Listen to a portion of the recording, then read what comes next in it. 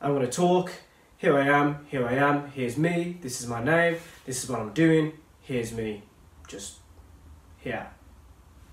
Yes, it's your boy Anthony Allen. I'm back with another one here on my YouTube channel, Anthony Allen Edits, the YouTube channel that is all about teaching you how to edit so that you can tell the stories that you want to tell in the way that you would like to tell them, so that you have full control over your creations and your post production, editing, and whatever you upload to YouTube or not. And here in this video, I'm going to teach you how to do that effect that many of the top YouTubers have used at one point in time. And it's basically a cloning effect getting more than one of you, a version of yourself in the shot, a lot like what you're seeing on screen right now. And I'm about to teach you how to do this using Final Cut Pro 10. So this is definitely going to help you Final Cut Pro 10 users. But even if you're not using Final Cut Pro 10, definitely stick around because you might learn how to do this with a different software. And if you don't by the end of this video, do not worry because I also touch upon other editing software and teach you how to do these things that I'm showing you in, in the current videos on those other softwares as well. Hit the subscribe button and notification bell because I also touch upon those softwares as well. So now that I've said all that, we're going to get into the video now for you Final Cut Pro 10 users and I'm about to show you how to do this clone effect on Final Cut Pro 10. Let's get into it.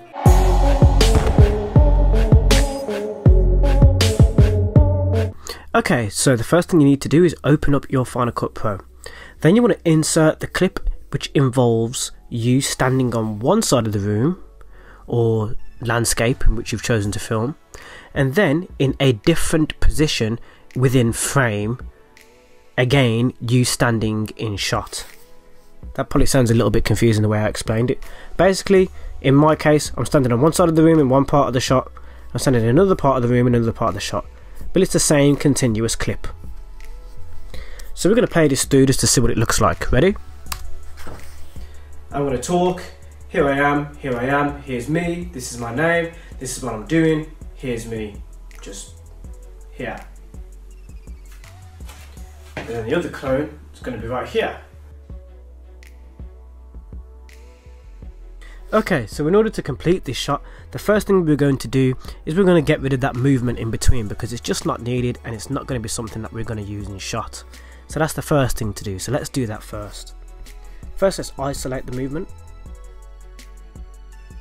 so here it starts. I look down to the ground, that's a cue where I'm about to move. We'll cut there. Then we'll find where I'm already in shot.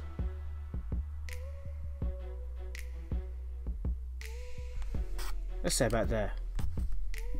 As we have two separate clips now, one will be on one side of the room and one will be on the other side of the room. We're just going to drag one of them underneath. So we've already established now that the top clip is where I'm standing on this side. What we're going to do now is we're just going to simply just crop across so we have a line in between. If you look closely, you can see there's an inconsistency in lighting and colour from one shot to another, even though this was filmed at the exact same time. So what we're going to do is we're going to balance the colours of both clips. So I've moved the bottom layer over to the right hand side so that we can differentiate what is being modified into which colour.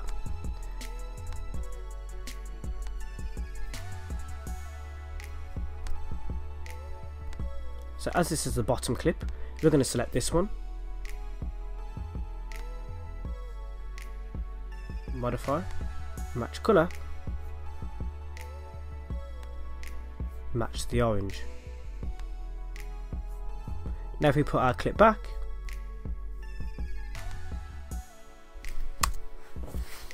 I'm going to talk, here I am, here I am, here's me, this is my name. So at this point, we already know that we need to mask out what's going on on the right hand side because most of this is inactive. So now we're going to go to find our masking tool. Let's find, let's click the effects panel here. And we're going to go and find draw mask. What we're then going to do, beginning with the first frame, is we're now going to draw a mask around our subject.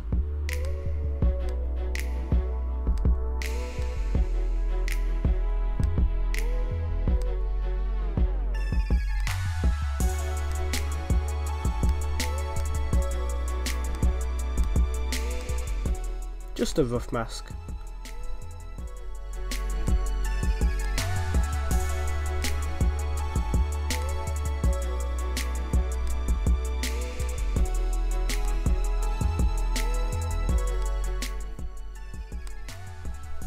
to get you started.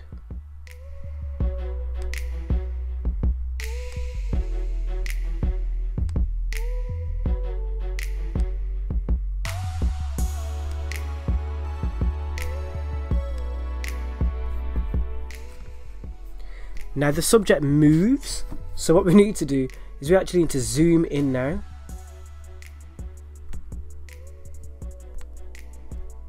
Making sure we're not cutting off any of the subject like I have done here.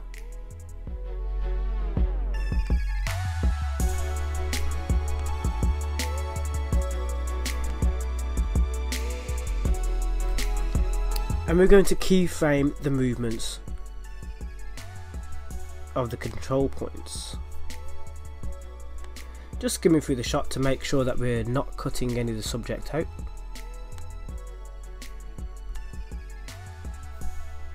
And tightening some of the control points where we feel it needs tightening.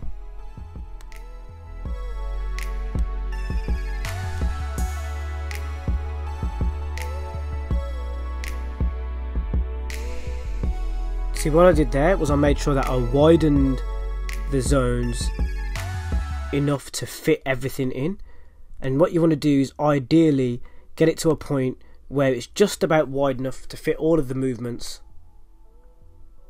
that the subject makes. The render is now complete. Let's have a look at the shot. I'm going to talk. Here I am, here I am, here's me, this is my name, this is what I'm doing, here's me. Just yeah.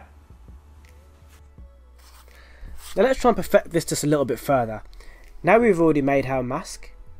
We're just going to pull this forward just to see which one was our mask. It's the top layer. Just going to pull this back. We're going to go into our top layer, select it, go back into the transforms here and the effects. Then we're going to go to our mask. Then we're going to do a fall off and a feather. So let's try and feather things.